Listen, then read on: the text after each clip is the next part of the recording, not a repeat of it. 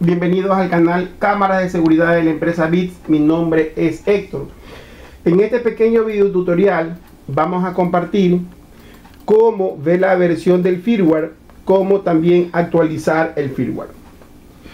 Para poder ver qué versión tienes de firmware, con respecto a la versión es en info, en info, sistema y me dice versión.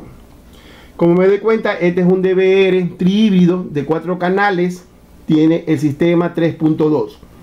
En el 3.2 es aquel que viene con P2P. El 2.6 no viene la versión de P2P para comunicar a través de internet. Y este es el número serial.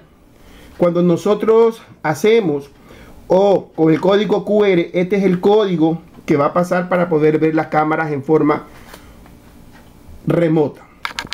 Para ver la actualización, para la actualización del sistema, uno también va es en ajuste, sistema y tiene actualización.